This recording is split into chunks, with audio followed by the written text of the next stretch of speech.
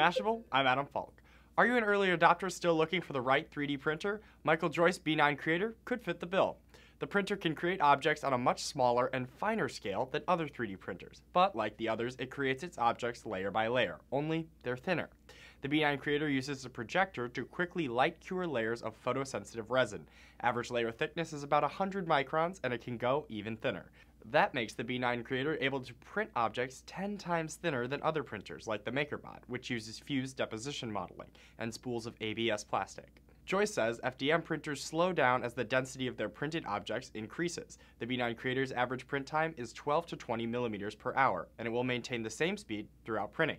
The printer is offered on Kickstarter as an assemble it yourself kit or as a completed unit. Joyce plans to have it shipped to everyone who backed the project by the end of August, and when it's done, he plans to release the hardware designs and software source code online. The B9 Creator was fully funded within a day, and at the time of writing, it's been funded more than three times over, with three weeks to go. But that shouldn't be too surprising. A quick search for 3D printers on Kickstarter shows this hardware is hot right now. Most are funded or already successful. For Mashable, I'm Adam Falk.